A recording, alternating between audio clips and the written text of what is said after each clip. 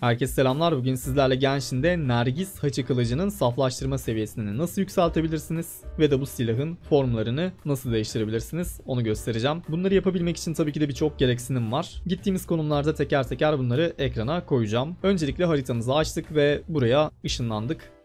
Aşağı doğru devam edeceğiz. Tam olarak bakın bu tarafta parlayan bir yer var. Şimdi tabii ki de siz bu görevleri daha önceden yapmış olabilirsiniz. Bunu da nasıl anlayacaksınız? Envanterinize geldiniz. Görevler sekmesine girdiniz. En aşağıda bakın deniz kabuğu kupası diye bir eşya olacak. Toplam sizde 4 tane varsa görevleri yapmışsınızdır demektir. Küçük çeşmeye tıklayaraktan en üstteki deniz kabuğu kupasını ikram ete tıklayacağız. Bunları tabii ki de böyle teker teker koymanız gerekecek. Yükselen kutsal kadet diye bir eşya geldi. Bu da saflaştırma seviyesini yükseltmek için gereken eşya.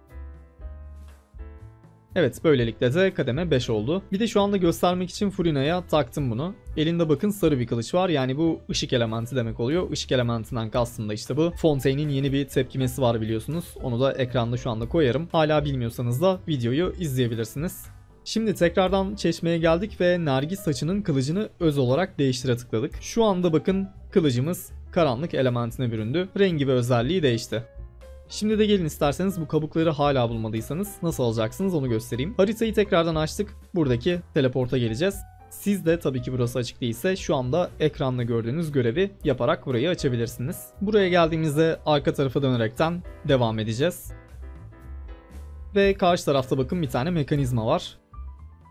Burayı da açtığınızda tam olarak karşı tarafta bir tane sandık göreceksiniz. Sandığın içinden de birinci kabuk çıkacak. Evet ikinci kabuğumuz yine aynı yerde. Buradaki kitaba ışınlanacağız ve karşımızdaki kitabı okuyacağız. Şu anda zaten ekranda büyük ihtimalle bunun da görevi çıkmıştır. Bu görevi bitirdikten sonra tam olarak burada sandıklar çıkacak. Bu sandıkları da alaraktan diğer bir kabuğu elde edebilirsiniz. Sıradaki kabuk içinse tam olarak bakın buradaki teleporttan alınacak. Tabii ki şu an buraya gitmeyeceğim. Buranın bir tane görevi var. 7 tane mücevher topladığımız onu da şu anda ekrana koyarım. Kendisi birazcık uzun bir görev ama bitirdikten sonra en son burada bu mücevherleri toplayaraktan hepsini birleştiriyorsunuz ve bir tane eşya elde ediyorsunuz. Birleştirmeyi yapınca da zaten videoda anlattım ama buradaki teleporta geleceksiniz.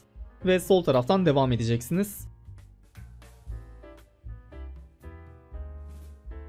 Birleştirdiğiniz eşyayı buraya vererekten kapıyı açacaksınız ve devam ettiğinizde tepeden bir giriş olacak şu çatlak kısımdan sandıkların içinden de üçüncü kabuk çıkacak. Sıradaki ve sonuncu kabuğumuz içinse buraya ışınlanacağız. Bu taraftan dümdüz devam edeceğiz.